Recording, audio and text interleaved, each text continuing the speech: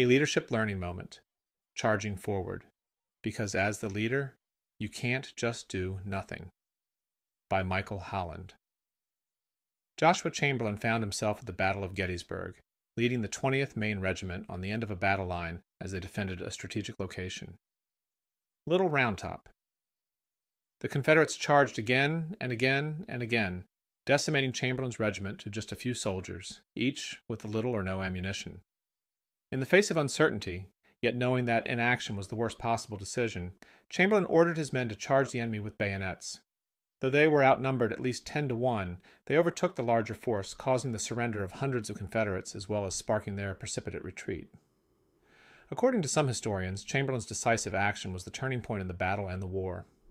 Indecision is, ultimately, a decision. We can wallow in the uncertainty of leadership without ever fully knowing what the future holds, allowing fear and risk to lull us into inaction and rationalization. Leadership in its natural form, on the other hand, is taking action to seize an opportunity when fear and risk reveal a cloud of uncertainty for what the future may hold. Great leaders move forward into this uncertainty to seize the opportunity. For all you aggressive, overbearing, dominating, take the hill at all costs leaders, this does not mean you are right or even good at your role. You must lead in ways in which employees will follow you. Your natural energy and leadership bravado allow you to more easily face the abyss of uncertainty and to see the opportunities that await you. Just make sure the opportunity is more than your ego. For all of you more reserved, cautious, thoughtful, methodical leaders, this does mean that you must decide if you are built to be courageous, or if you have to work to muster the energy and soul to be courageous, as Chamberlain did. Your balanced approach to situations provides tremendous insight and steadies others, but it lacks the call to action and the courage to move forward in spite of the uncertainty. This may cost you the, the hearts and souls of your employees. Great leaders find the courage to lead forward in spite of, if not because of, the uncertainty.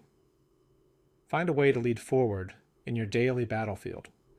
Coaching thoughts for you and your peers. 1. Into which of the two categories of leaders would you place yourself? Why? 2. Go getter leaders are cautioned with this advice. You must lead in ways in which employees will follow you. What does this mean for more energetic leaders? Can it be applied to more reserved leaders as well? How so? And 3.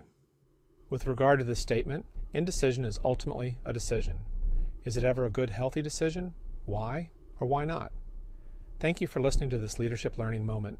To learn more about how to lead well, visit our website at bishophouse.com.